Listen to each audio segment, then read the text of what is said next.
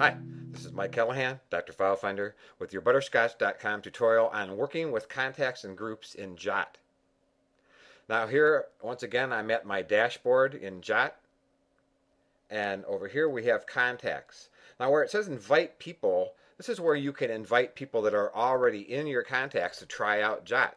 They may be getting messages from you and orienting how it is that you're doing these cool messages. So you can invite those who are already in your contacts. Here we can add new contacts. We'll click that, brings up the quick add screen. And here you can add five people at one time. Now I'm going to put in a fictitious person. And it's important to remember that if you put in an email address and not a phone number, then they will always receive an email. If you put in a phone number and not an email address, they will receive a text and not an email. And if you put in both, they will receive both.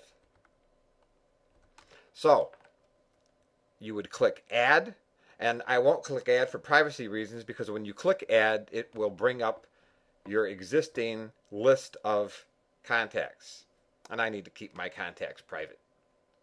Now another cool feature of contacts is groups. We'll go back to the dashboard and over here you'll see groups. And I have a group, the SIF Board of Directors. I call it Gang.